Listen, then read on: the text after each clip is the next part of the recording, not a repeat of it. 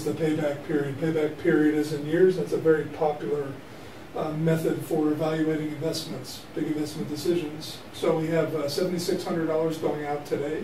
For that, we'll get 1,900 in, 2,900 in, 2,300 in, and $1,700 in. And essentially, we're going to the chief financial officer today and asking for $7,600 and promising these cash flows on the project. Payback period is time in years to make my cash inflows equal to my cash outflow. All the CFO wants to know is when are you going to pay me back? Pretty simple uh, concept. So I simply take um, 7,600 minus 1,900 and ask myself, am I paid back after year one? And the answer is no, I still have a balance of $5,700. Then I subtract uh, the second year cash flow of $2,900 and I'm left with $2,800 to pay back, so I'm still not finished. Then I subtract um, 2,300 from the 2,800 and I get $500 remaining, still not paid back. and finally I go in and say how much of that um, 1,700 do I need? I don't need the entire 1,700, so it's between three and four years, so I need 500 over 1,700 or 0.294 years to pay this project off. So my final answer payback period, 3.294 years. And again, you can take this out as many decimal places as you'd like and take it to the um, day, month, hour, and so on, minute if you want to. 9.1 payback period, there's your answer. In problem 9.2, we want to know what is the payback period for this constant series of cash flows. Um, if the project costs 1700 if it costs 3300 or if it costs 5600 So again, it's the time and years to pay your CFO back for the money that she has given you. Um, in this case, I can take my cash outflow divided by the constant cash inflow, very simple to calculate the payback period on these streams of uh, even cash flows. So uh, in case one, I take uh, 1700 divided by 675 and I get 2.5185 years. In case two, I take 3,300 divided by 675 and I get a longer period, 4.8889 years. And in case three, I take 5,600 divided by $675 and I get 8.2963 years. And since we really don't have a cash flow in year number nine, we could say never, never pays back. But if you want to calculate it out and see if you can get a, a ninth cash flow of $675, uh, promised cash flow of 675 uh, in the ninth year, would take 8.2963 years. There are your answers to problem number two. Problem 9.3, we're given that Siva Inc.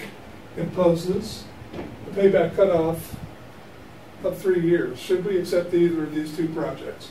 On top of the timeline, I have Project A, which um, requires 45000 today from your CFO. For that, you'll promise that you'll give her 16000 in, 21000 in, 15000 in in year three, and 9000 in year four.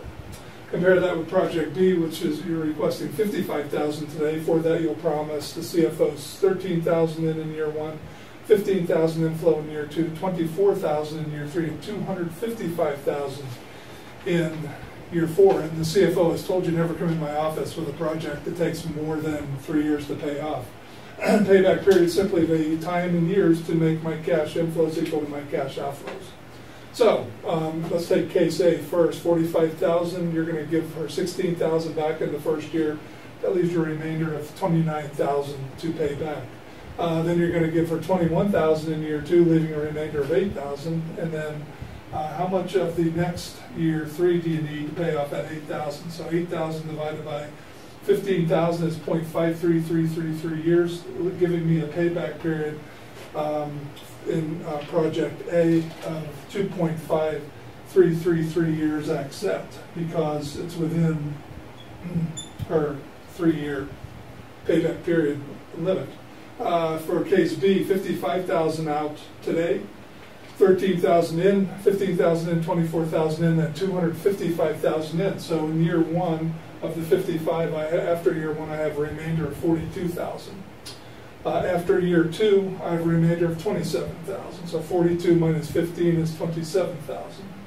Um, after year three, I pay back 24,000 of the 27, I'm left with 3,000 how much of that 3000 do I need to pay back in year four? 0.0011765 years to pay that back. So um, the CFO would basically say, out of my office, because it took more than three years. However, you may want to use a little common sense here and say, well, how long do I have to wait? What is 0.0118 years? How long do I have to wait to get part of that $255,000 bonus that's hanging out there in year four? Um, and the answer is that works out to about 4.29 days. So the question for the CFO, are you willing to wait 4.29 days to start seeing some of this cash flow? And the answer is probably going to be yes. So in reality, um, you're not going to reject that. You're probably going to accept that if that 255,000 uh, starts flowing in early in the year. Whether if it comes in the last day of the year, well, that's another matter. The CFO may elect not to wait that long. There's your answer to problem 9.3. And problem 9.4, we're given that the project um, has cash inflows shown below. Let's put those uh, on a timeline as usual, $2,800. Uh, $3,700 in year two, $5,100 in year three, and $4,300 in year four. This time, uh, the uh, discount rate is 14%. We want to figure out what is the discount to payback period. If the initial cost is 5200 then we're going to do two more cases. What happens if it's 5400 And what happens if it's 10,400? Up today, now we're going to have to discount each of these cash flows back at 14%. So I'm going to divide my 2,800 by 1.14, my 3,700 by 1.14 squared, the 5,100 by 1.14 cubed, and the 4,300 by 1.14 to the fourth and we get these resultant discounted cash flows. So 2,800 over 1.14 is 2456.14. 3,700 divided by 1.14 uh, squared is 2847.03. Um, 5,100 over 1.14 cubed is 3442.35. And 4,300 over 1.14 to the fourth is 2545.95. Those cash flows carry through, cash inflows carry through to all three cases.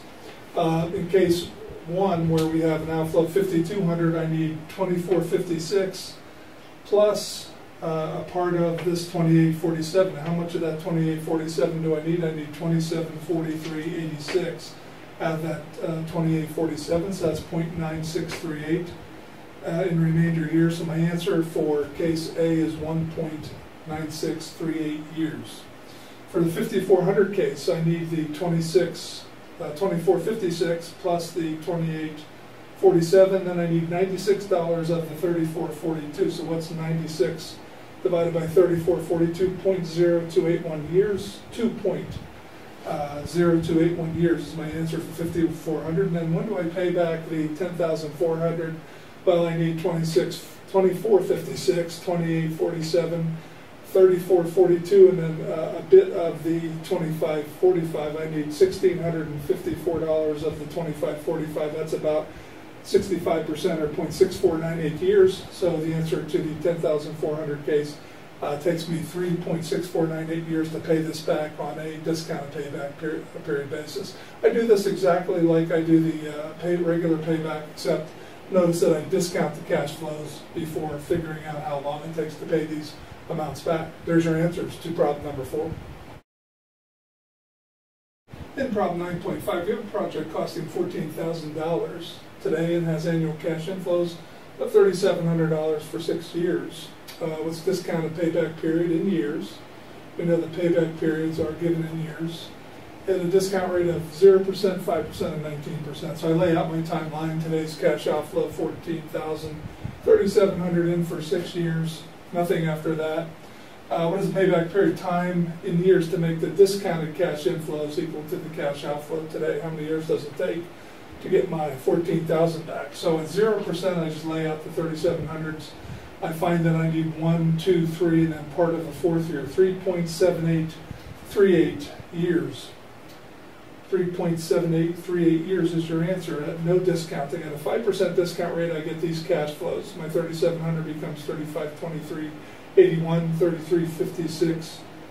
3356.01, 3196.20, 3044, and so on. These are the discounted cash flows. So again, when do I pay my 14,000 back? One, two, three, four, plus a little bit, plus 0.2891 years of that. 28.99, 4.2891 years is my answer, at a discount rate of 5%. How about a super high discount rate of 19%? Again, I, I lay out my cash flows. 3,700 divided by 1.19 is 3109. 3,700 divided by 1.09, 1.19 squared is 2612. See how these cash flows degrade rapidly. So here are your discounted cash flows. Uh, takes me all the way down into the eighth year, actually, and I'm only pretending that I'm going to get these last two. Uh, the answer really is never. It doesn't pay back in six years. But if I were to assume a 3,700 in year seven and a 3,700 in year eight, and I discount those back at 19%, I get an answer uh, of uh, I'm still a little bit short, $289 short out of the uh, 920 available in that discounted eighth year.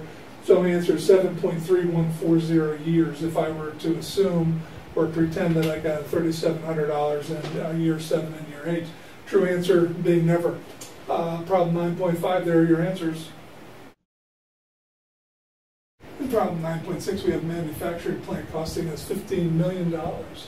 We're going to depreciate a straight line to zero over four years. The projected net income over these four years is shown on the timeline 1754000, 1820500, 1716300, and 10974000. What is uh, the AAR? AAR, percent is average net income over average book value. A very simple problem. Since we do have straight line uh, depreciation, and we look at the book value, we can see it going from $15 million at today at time zero up to zero at time four. So the curve looks like this, and I can simply bisect the line to get the average book value. So 15 million divided by 2 is 77.5 million. That only works with straight line depreciation, please note. We really should create a balance sheet with gross property, plant, and equipment. Um, less accumulated depreciation equals net PP&E. We'll get the same answer, 7.5 million, but especially if you have uh, MACRS, so sum of years' digits, uh, other types of nonlinear depreciation will not work with this method. Since we have linear, we can do this. Average net, net income is 17, uh, 1754000 plus 1820500 plus 1716300 plus 1097,400 divided by four values, I get an average uh, net income of 1597050. I divide my average net income by my average book value. I get an AAR of 21.294%. There's your answer to problem number six. In problem 9.7, we're going to do the internal rate of return on these cash flows. Um, the company's required return or hurdle rate is 14%. So your project has to come in higher than 14% for us to accept this project. Minus $26,000 you're asking the CFO for today. For that you'll give her 11000 in, 14000 in, and 10000 in over three years.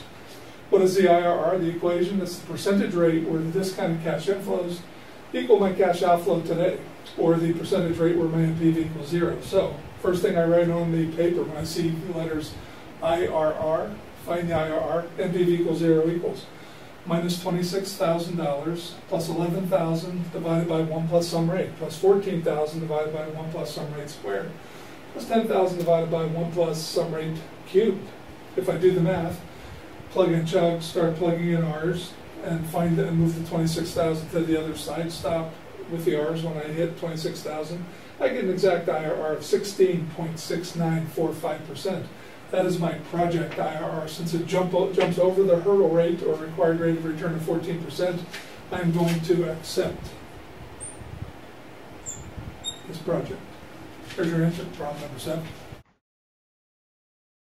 In problem 9.8, we have the firm in problem 9.7 using the NPV rule now. Do we accept the project at 11% discount rate and also a 24% discount rate? So we're creating a mini NPV profile. Same cash flows we had in problem 7.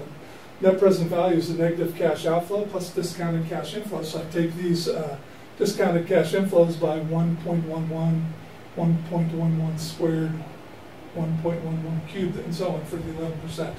I get these resulting um, discounted cash inflows. I subtract the discounted uh, today's cash outflow, and I get an NPV of 2584.54. Positive NPV, accept is my decision. At 11%, if I have a discount rate of 24%, same cash flows, this time I'm going to divide by 1.24, 1.24 squared, and 1.24 cubed, and I'm going to get an NPV of negative 277906. Negative NPV, my decision at 24% is reject. And there's your answers to problem 9.8. In problem 9.9, we have given that a project provides an annual cash flow of 15400 per year for nine years. This project costs $67,000 today if you want to uh, get into it, and the required return is 8%. Is this a good project at 8%? How about at 20%? What's the indifference rate? Or the IRR? So NPV um, is equal to minus cash outflow plus the annuity present value cash inflows. Uh, we're going to calculate the NPV first, then we're going to calculate the IRR, where NPV equals zero. So NPV at 8% is minus 67,000 plus 15,400 over 1.08 plus 15,400 over 1.08 squared. 15,400 over 1.08 cubed all the way out to 1.08 to the ninth, or we can realize that it's an annuity of 15,400 and use the annuity present value. C times 1 minus 1 over 1 plus R to the T over R, $15,400 uh, times 1 minus 1 over 1.08 to the ninth over 0.08. I get an NPV at 8% of 29,202 and 7 cents.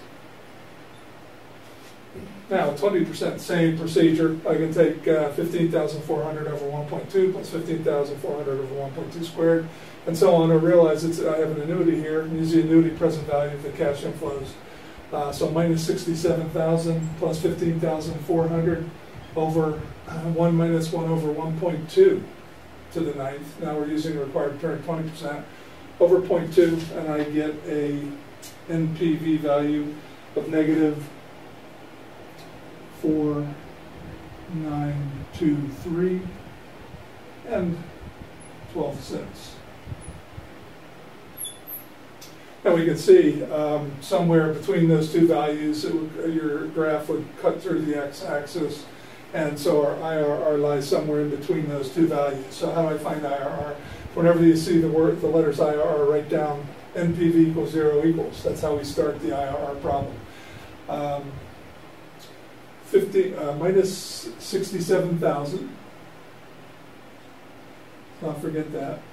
So minus the cash outflow plus 15,400 over 1 plus r, plus 15,400 over 1 plus r squared, plus 15,400 over 1 plus r cubed, all the way out to 15,400 divided by 1 plus some rate to the ninth.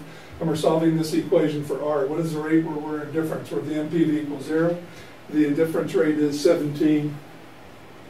17.6711%. And there are your answers to problem number 9. In problem 9.10, we're given a series of cash flows, and the author asks the question, what is the internal rate of return? Discounted cash flow return on investment, uh, sometimes called. Uh, so the first cash outflow is 13900 and then we have a cash inflow of 6400 8700 and 5900 If we were to get these cash flows coming in and that cash flow going out, what is the uh, return on this investment? So the first thing I write on the board is NPV equals zero equal minus the cash outflow plus the present value of those cash inflows. Find the rate where those two are equal when I move this to the other side. So it's the rate where the discounted cash inflows equals today's cash outflow. So first thing I write on the board is um, NPV equals zero equals minus 13,900 plus 6,400 over 1 plus some rate plus 8,700 over, over 1 plus some rate squared plus 5,900 over some plus 1 plus some rate to the third, and the percent IRR um, that will make my cash, discounted cash inflows equal to my cash outflows twenty-four point six seven one percent. Here's your answer problem number ten. In problem nine point eleven, uh, we're, we're wanting to know what is the NPV of the series of cash flows, same set of cash flows as in problem ten. um, and we want to know the NPV percent, twenty percent, and thirty percent. This is called an NPV profile. Create the NPV profile, and we can see approximately where the um, IRR lies. So, uh, the NPV is equal to minus the cash outflows plus the discounted cash inflows. Um, and then IRR from the last problem's rate where the discounted cash flows equal to cash outflow. So somewhere in this NPV profile, we'll find the IRR. So NPV at 0% is minus the first cash outflow plus 6,400 over 1 plus 0%, plus 8,700 over 1 plus 0% squared, plus 5,900 over 1 plus 0% cubed. And if I do the math, I get a, an NPV of 7,100 dollars even. Except at zero percent.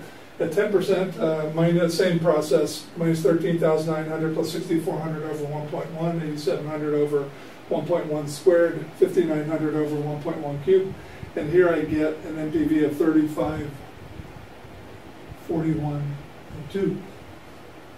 At twenty percent, same process, except I'm dividing by 1.2, 1.2 squared, 1.2 cubed, and I get an NPV of eight eighty-nine and thirty-five cents. And at thirty percent, I divide by 1.3, 1.3 squared, and 1.3 cubed, and I get an NPV of negative uh, 114351. And there are your NPVs Now, using that NPV profile, where does my IRR lie? We can see it crosses through the x-axis somewhere in here between um, 20% and 30%. And we found in the last problem that it was uh, 24.0671. So this ties in exactly to problem number 10. We could plot these uh, NPVs graphically and see where that uh, NPV line crosses the x-axis, it would be at 24.0671%. Here's your answer to problem number 11. In problem 912, we have a Garage Inc. with two mutually exclusive projects, A or B. I can't do both. I only have uh, $43,500 for either or. Can't do both. Um, the required return in our company is 11%. Should I accept either of these projects? so um, what do we do? Well, we know the best method is to do the NPV. Um, but first, we're going to find the IRR. So we'll, we'll, use the IRR, which we know we can have some trouble with with mutually exclusive projects. So here are the cash flows, and for purposes of uh, calculating a possible crossover rate, I'm also going to take a, strike a third column out here, which is B minus A. I take the project B values, subtract project A values, and I'll get the B minus A column there. I'm going to use that later in the problem for the um, indifferential crossover rate. So NPVs minus your cash outflows uh, plus present value of the cash inflows, and the IRR is the rate at which my discounted cash inflows equal my cash outflow today. So first, uh, I'm going to calculate the IRR of A and B. How do I do that? NPV equals zero equals minus 43,500 plus 21.4 over 1 plus some rate plus 18.5 over uh, 1 plus some rate squared, plus 13.8 over 1 plus some rate cubed, plus 7,600 over 1 plus some rate to the fourth. If I do the math and calculate little r, I get 18.3340 for project A. Putting these uh, project B cash flows in the same equation, I get an IRR of B of 17.3743. So which do I take? Well, I take uh, project A if I'm evaluating IRR without knowing if these things might cross over and cause the CFO some confusion. Um, this one jumps over the hurdle rate of 11% better than project B, so in this case I accept A. now I want to calculate the net present value, which we know is the best method for evaluating large uh, investment projects, the NPV of these cash flows at, 11, at the company's uh, hurdle rate of 11%. So I take minus 43,500 uh, plus twenty-one four over one point one, plus eighteen five over one point one squared, plus thirteen eight over one point one cubed, plus uh, seventy-six hundred over one point one to the fourth, I get a, an NPV at eleven percent of um, fifteen eighty-one, fifty, fifty-eight ninety-one, I'm sorry, fifty-eight ninety-one oh nine, fifty-eight ninety-one oh nine for project A. Do the same math for project B using these cash flows right here. Um, and I get seventy-four sixty-seven eighty. What do I do? I pick the larger of the two NPVs at eleven percent, and I'm picking project B in this case. So with IRR, I'm, I'm picking uh, project A, and with NPV, I'm picking project B. So there's a chance these things cross over and can cause great confusion. That's a problem we have with mutually exclusive projects and the internal rate of return decision rule. So to calculate the difference rate, I calculate B minus A. I take uh, negative 43.5 minus a minus 43.5, I get zero. I take 6,400 minus 21.4 and get 15,000. I take 14.7 minus 18.5, get minus, uh, 3,800. I take 22.8 minus 13.8, get 9,000. And I take 25.2 minus 7,600 and I get 17.6. And then to calculate the crossover rate, I do the uh, IRR on that third column of cash flows. Crossover rate of NPV of B minus A equals zero, equals minus zero, first cash flow, plus minus fifteen thousand over one plus R, plus thirteen thousand eight hundred over one plus some rate squared, nine thousand over one plus some rate cubed, and seventeen six over one plus some rate to the fourth. If I do this, I get a crossover rate of fifteen point one eight seven six percent. Um, and what do I do here? Well, I see that I take B at lower rates and I take A at higher rates. So at rates um, lower than um, 15.1876, I take B, and at rates higher than 15.1876, I take project A. This leads to great confusion uh, for potentially for the CFO. There are your answers to problem number 12. In problem 913, we're given that we want to sketch the NPV profile for X and Y for discount rates from 0 to 25%, and also find the crossover rate if appropriate. Uh, so it looks like we have two mutually exclusive projects. We can do one or the other. Uh, they both cost, they each cost 24,000 bucks and they give off different cash inflows. Uh, for the purposes of calculating the crossover, possible crossover rate, I'm going to take uh, y minus x, so 20 minus 24,000 minus minus 24,000 equals 0, 12, 1 minus 10, 6, 20 equals 1480, and so on. and on these, uh, to calculate a crossover rate, I'm going to do the internal rate of return on these four cash flows a little bit later in the problem to see if indeed there is crossover. So my equations are NPV equals minus cash outflow plus present value of cash inflows, like all the other problems, and your IRR's rate where the discounted cash inflows equals the cash outflow. So I create a little NPV profile, and I take uh, these cash flows to get these numbers. I would calculate uh, minus NPV equals minus 24,000 plus 10,620 over 1 plus 0 plus 10,900 over 1 plus 0 squared plus 10,500 over 1 plus 0 cubed. And if I do that, I get 8,020. At 5%, I take do the same thing for project X. NPV equals minus 24,000 plus 10,620 over 1.05 plus 10,900 over 1.05 squared plus 10,500 over 1.05 cubed. If I do that, I get 5,071.20. And again, I write down all of these uh, NPVs at the various discount rates. This is called an NPV profile. So there's your NPV profile for X, and there's your NPV profile for Y. Here I do these cash flows at these discount rates to get those NPVs. So if we look at the chart, we see that um, the NPV for X is higher at low rates, XXX, and then there's a crossover here, and then we start taking Y, Y, Y. The Y NPVs are higher than the X NPVs at some crossover rate right between 10 and 15 percent. So I could do, draw, put, plot these graphically on an XY plot and see if they cross over. And that is always a possibility. Um, or I can actually calculate the crossover rate by calculating the IRR on the Y minus X column. So take Y minus X, write down the numbers, and do and uh, do a crossover rate calculation by taking the NPV of Y minus X equals zero equals zero plus 1480 over 1 plus r, plus a minus 1540 over 1 plus r squared, plus a minus 100 over 1 plus r cubed. And I'm trying to solve this for r. I get a rate of 10.1862%. So these things do cross over here at uh, 10.1862 R and then PV, if I were to plot that. And um, I take X at low rates, and then I take project Y where there's a crossover at higher rates of return beyond um, 10.1862. There's your crossover rate calculation for problem 913.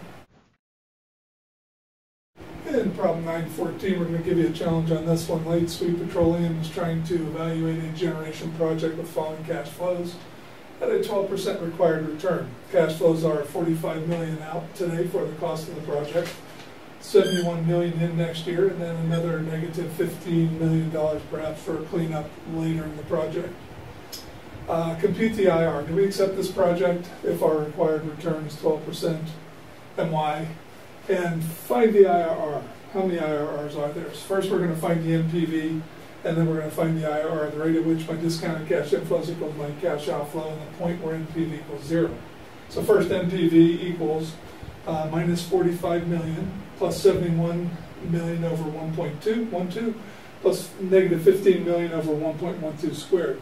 We do the math, we get a net present value on this project of six million four hundred thirty-four thousand nine hundred and forty-eight